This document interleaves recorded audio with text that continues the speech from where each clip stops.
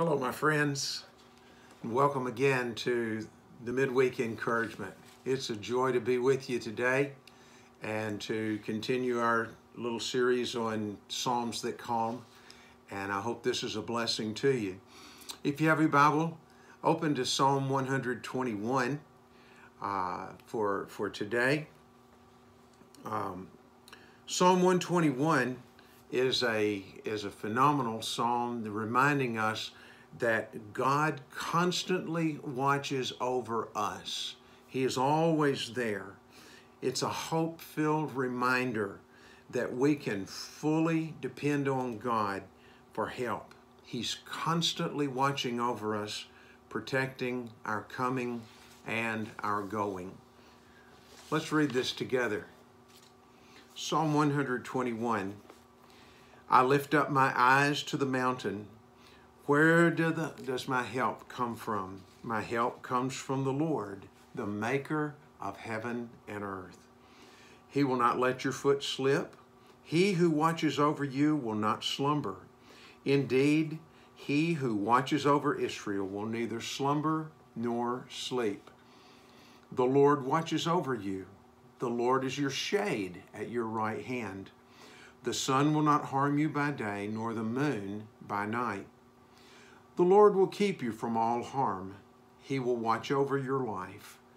The Lord will watch over your coming and going, both now and forevermore. What tremendous words of encouragement.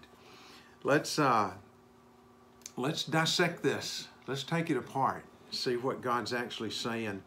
This is uh, you'll notice under under the title Psalm 121, a little phrase called a song of ascents. Now, not assent in saying, okay, okay, not that kind of assent, but ascent as in going upstairs or going, uh, climbing a mountain, literally, is what it's talking about. Um,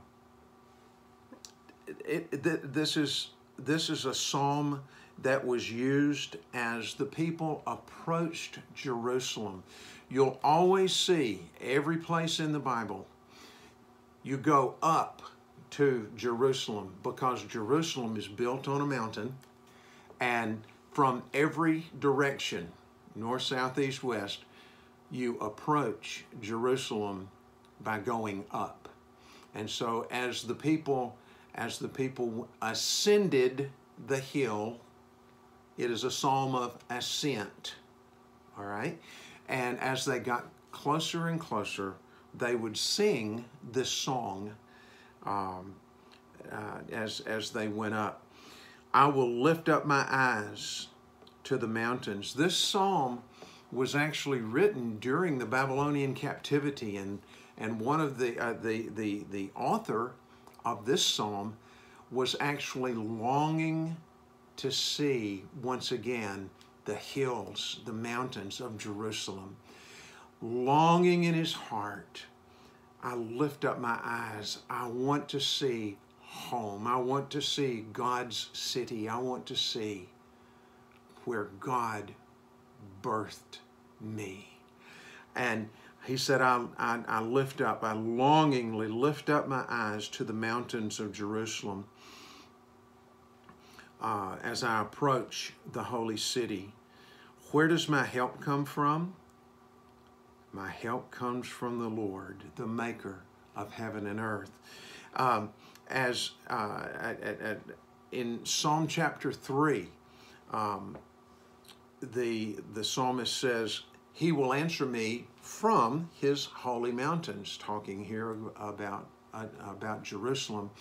And so recognizing that Jerusalem is the city of God, it's the dwelling place of God, if you want to, uh, and that God's help as they would go to worship in the temple, as they would go to sacrifice at the temple, uh, the uh, presence of God would be so real to them. Where does my help come from? That is recognizing human weakness. And um, then he goes on and answers that not from Jerusalem. My help comes from God. My help comes from the Lord, the maker of heaven and earth. So he asks the question, recognizing human weakness.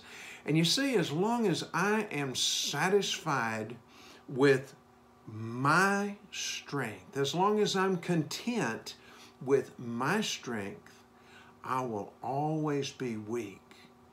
But he says here, my help comes from the Lord, recognizing divine help.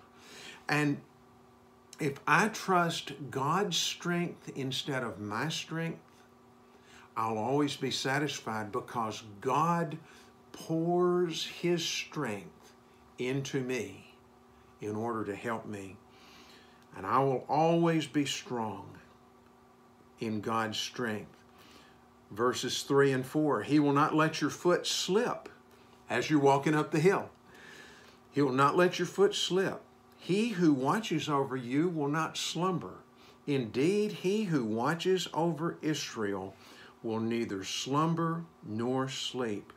God is a wakeful, watchful keeper, taking care of us, meeting our needs, and making sure that we have everything that's necessary to live for Him. He says He will not slumber. The picture here is a cat nap. God never just dozes off. He doesn't, not only does He not just doze off, He also doesn't fall into a deep sleep. And that's the that's the contrast there. Not a cat nap, not a deep sleep. The God who watches over Israel will neither slumber nor sleep. God watches over you. Verse number five. He's the shade at your right hand. The sun will not harm you by day, nor the moon harm you by night. God watches over us. He's a shade at your right hand. Now, when we stood in front of the Jesus picture uh, a week or two back, we talked about standing close enough to God that His shadow falls over us. That's exactly what He's talking about here. The Lord watches over you, the Lord is your shade at your right hand. God will stand that close to us if we'll allow him to do that. But we have to allow him to. He doesn't he doesn't invade our personal space. God says, "Ask me. Ask me, and I'll answer you. Call to me and I will answer you." And God wants us to stand that close to him if we'll allow him to stand that close to us. In that shadow, we enjoy delight of being near God. We enjoy the assurance of His protection. We enjoy the refreshment of the shade, the shadow from His person, and we enjoy His protection. For a number of years, we lived out in Albuquerque, New Mexico, which is actually in the desert. Uh, it's a high desert, it's at 5,000 feet above sea level but there's no humidity. It's way different from the south. So much so that that when you if you if you take a thermometer and take a temperature in the sunshine and then step into a shade, there's an actual temperature difference. And so when you when when when we would step under the shadow of some of the trees in our yard, there was a literal temperature difference, and this is this is protecting uh, protecting us from the sun in the day, and and and he uh, and and the moon at night. He says, uh, "The sun will not harm you by day, nor the moon by night." He he talked about in verse five there. The Lord is your shade at your right hand. You see, the right hand was the working hand. And so what what the psalmist is telling us here is God is watching over us. He's the shade. He's close enough to shade your working hand. So go on about your daily activities. Go on about your work. God will protect you and give you success because the sun won't harm you by day The moon won't harm you at night. God is going to give us protection and success. Verse number seven The Lord will keep you from all harm, He will watch over your life. The, watch, uh, the Lord will watch over your coming and going, both now and forevermore. The Lord will keep you from all harm. He will watch over your life, your eternal life, your physical life as well, but your eternal life also. He's watching over all of our life. He will protect us from harm, from Satan's attacks, whether it's an open attack or a sneaky ambush.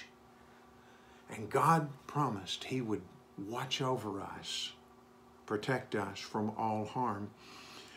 The Lord will watch over your coming and going, both now and forevermore. God's our protector, He's our comforter. Whether we work in the morning days or whether we work in, uh, uh in, in, in the nighttime, doesn't matter if we're working day shift or night shift. God is our protector. He's our comforter. And the picture here is ages and stages of life.